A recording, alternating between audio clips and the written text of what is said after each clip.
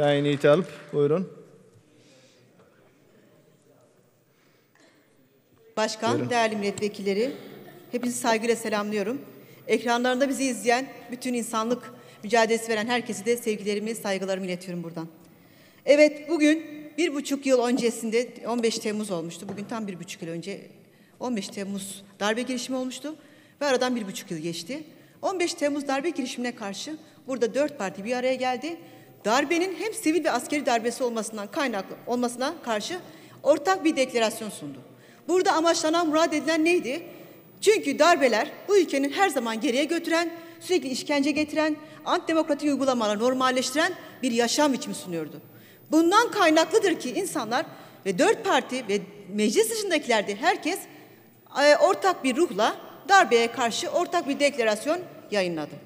Ve bunu yaparken de halk da sokağa çıktığında da 248 insan darbenin karşısında sırf darbe olmasın diye sokağa çıktı. Neden? Az önce bahsettiğim sebeplerden dolayı sokağa çıktı. 248 insan yaşamını yitirdi.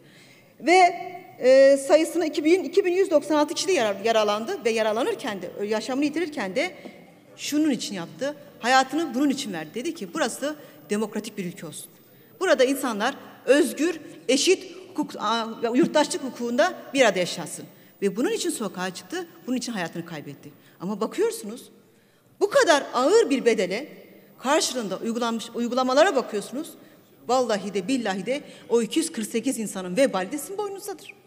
248 insan siz o hal ilan edin diye hayatını kaybetmedi.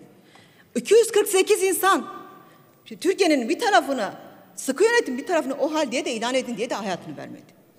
Cezaevlerine askeri düzen getirin diye de hayatını vermedi. Yolsuzluk, talan ve vurgun yapın diye de hayatını vermedi. Bu ülkenin huzur ve barış yaşaması için verdi. Ama hiçbirimiz ve bu işin mimarları ve aktörleri o insanların hayatını kaybettiğini söylerken ne için kaybettiğini söyleme konusunda hep sözünde imtina ediyor. Şunu tekrar söylüyorum. 248 insan olarak belirlenen ki bakanımca daha fazla olduğunu düşünüyorum. Bu insanlara sizin borcunuz var arkadaşlar. Bu meclisin de borcu var. Bugün bu kadar antidemokratik bir yaşamı bize dayatıyorsanız bunlar bu, bu yaşam biçimiyle o insanlara bir borcunuz var. Ve başta hükümetin borcu var.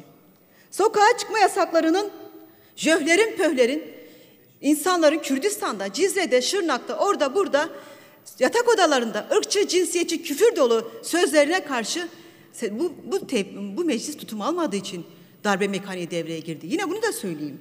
Ve yine bundan dolayı 2016-2017'de 15 Temmuz'da beraber olanlar yani 15 Temmuz'un karşısında darbenin karşısında duranlar da 20'den fazla çocuğun polis ya da asker araçları tarafından panzerlerin panzer cinayetleri için de sokağa çıkmadı. Ve bunlar neden yapıldı? Çünkü bu ülke 80 1980 12 Eylül'ü yaşadı. 60'ları yaşadı, 70'leri yaşadı. 1993'leri yaşadı. E-muhtıraları yaşadı. 2000'leri yaşadı. Halen hafızamızda canlı canlı tarihi duruyor. Bakın beş nolu cezaevi var. Şu anda Diyarbakır beş nolu cezaevi üzerinden bir komisyon kuruldu. O komisyona gelen insanlar cezaevinde neler yaşadığını satır satır anlatıyor. Çoğu zaman duygulanarak anlatıyor. Çünkü 1980 cezaevi Türkiye tarihinin en kara dönemlerinden biridir. Şimdi o uygulamalar hepsi neredeyse bütün Türkiye cezaevlerine sirayet etmiş durumda. Biz bugün burada beş nolu cezaevinin neden böyle olduğunu konuşuyoruz. Ama yanı başımızdaki bütün cezaevleri neredeyse bu uygulamalarla yüz yüze. Orada binlerce, yüz binlerce insan e, zorla tutuklanmış durumda. Yani 600'den fazla çocuk, bebek daha doğrusu bebek annesiyle cezaevinde. Bu nasıl bir utanmazlıktır? Bu nasıl bir garabettir? Bebekler gözlerini cezaevlerinde açıyor. Hamileler cezaevinde. İnsanlar doğum yaparken kapıda asker polis bekliyor.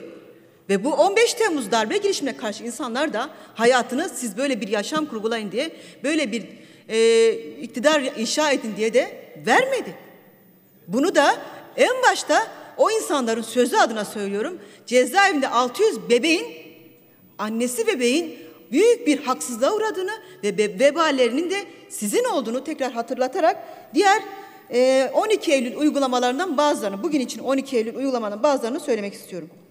Evet, daha dört, dün dört gün önce Antalya, Alanya'da Murat Araç emniyette intihar dedi ve yaşamını yitirdi.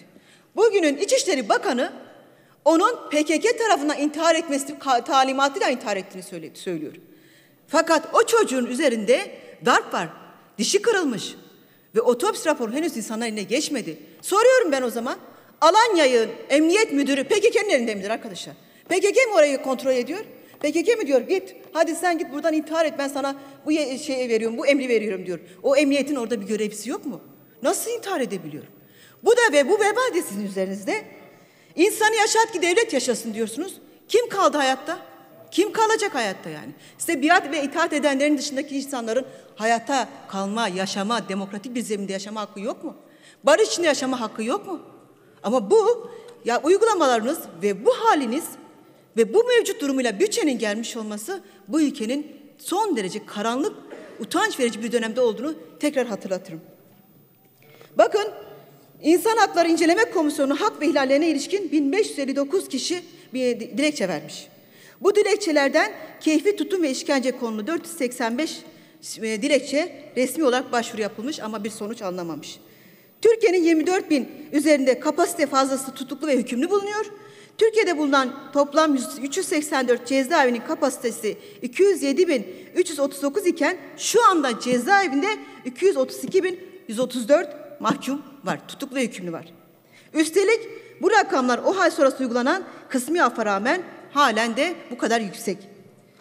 Adalet Bakanı müjde verdi bize. Bu kadar hukuksuzluğu görmezden görüp başka şekilde söylüyor. Diyor ki biz diyor 2018 yılında da ayrıca 38 tane cezaevi yapacağız. Bu kadar insan niye cezaevinde bunlara bir yargı mekanizmasını hızlandıralım demesi gerekirken 38 tane daha cezaevi yapalım diyecek bir bakış açısıyla bu ülkedeki insanların aklına saygı mı değil mi onu da sizin takdirlerinize bırakıyorum. Böyle vaatlerde bulunuyor.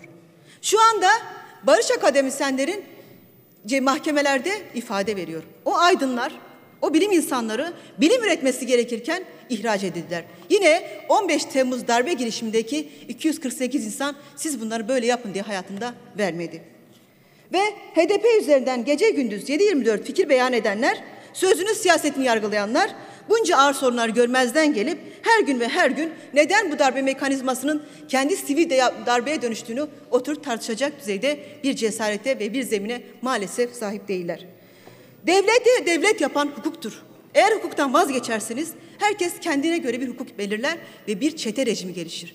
Ve her tarafta mafyatik örgütler kendine göre bir sistem oluşturur. Sokakta e, öldürmek e, çağrılarında bulunur. Bir gün oradan söyler, bir gün buradan söyler, televizyondan söyler ve herkes kendine göre bir adalet mekanizması yaratır ki devlet de burada kendi hukukundan vazgeçmiş anlamına gelir. Bunu dolayısıyla bu oluşacak sokaktaki kadın cinayetlerinden tutun iş cinayetlerine kadar bu hukuksuz zeminin de sorumlusu başta AKP hükümetidir. Ve son olarak şunu söylüyorum. Karanlık bir dönemden geçiyoruz. O hal döneminden geçiyoruz.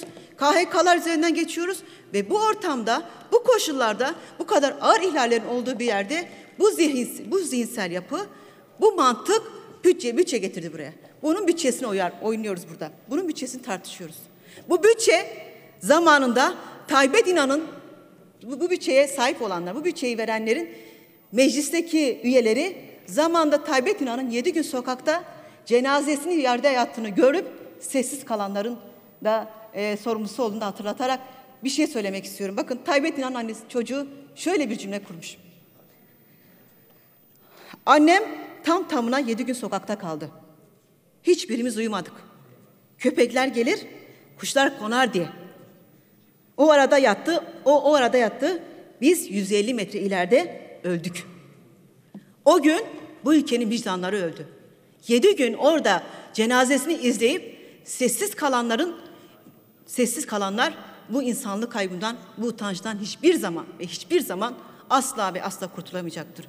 O cenazeyi izleyenler de, o cenazeyi yaşatanlar da, o katliamları yapanların zihinsel yapısı ve cezasızlık, kuralsızlık bugün o bütçeyi yapıyor. Buradan şunu söylüyorum. Bu yollar, bu yöntemlerle siz her gün ama her gün dağın yolunu açıyorsunuz.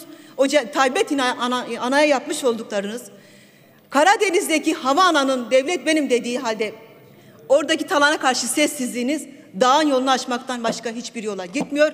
Bu yol yol değildir. Bir an önce antidemokratik uygulamadan vazgeçip bu ülkenin eşit, ortak ve bir arada yaşamanın zeminini yaratmak gerekmektedir. Bu da hepimizin sorumluluğundadır. Hepinizi saygıyla selamlıyorum.